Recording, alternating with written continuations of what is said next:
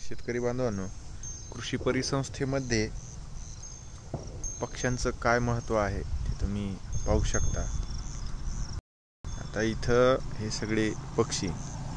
जसा जसा बैल पुढं चालतो किंवा पुढं जातोय तसं तसं तिथले जे काही गवत आहे आणि त्या गवतावरचे जे काही हे आहे आता इथं जर पाहिलं तर जास्त मोठ्या प्रमाणामध्ये गवतामध्ये आपण जे घोडे म्हणतो किंवा ग्रास हॉपर आहे तर हे कीटक जास्त आढळतात.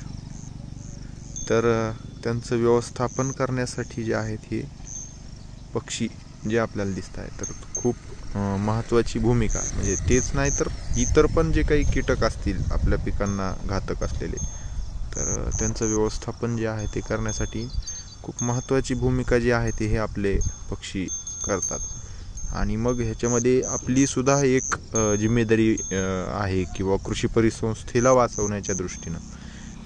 की मागे जसं गोगलगाईचा प्रादुर्भाव आता इथेही मी दाखवतो तुम्हाला. प्रचंड मोठ्या प्रमाणामध्ये गोगलगाई आहेत. पण ह्यांच्या व्यवस्थापनासाठी जे आहे तर आपण खूप आघोरी उपाय आपण करतोय. जसं की कार्बोफ्युरॉन नावाचं एकदम लाल त्रिकोण असलेलं घातक कीटकनाशक आणि आपण ते तांदळामध्ये किंवा लाह्यामध्ये मिसळतो आणि ते शेतामध्ये पसरवतो तर त्यावेळेस असे हे पक्षीसुद्धा ते खातात आणि बऱ्याच ठिकाणी ह्या घटना आहे. हे व्हिडिओसुद्धा सोशल मीडियावर आले की त्याच्यामुळं पक्षी जे आहे ते मेले तर हे आपण केलं नाही पाहिजे. ह्यांना सुद्धा जगायचा जो आहे तो अधिकार आहे.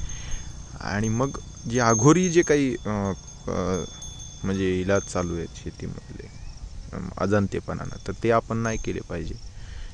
हे सुद्धा आपल्या कृषी परिसंस्थेचा भाग आहे आणि ते आपल्यासाठी खूप महत्त्वपूर्ण भूमिका जी आहे ते कीड व्यवस्थापनामध्ये करतात.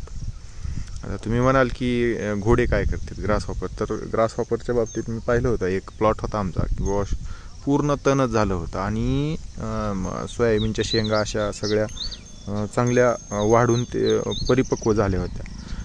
तर ते सुद्धा ते ग्रास हॉपर खात होते. तर अशा कीटकांचं व्यवस्थापन करण्यासाठी हे आपले पक्षी आपल्याला मदत करतात.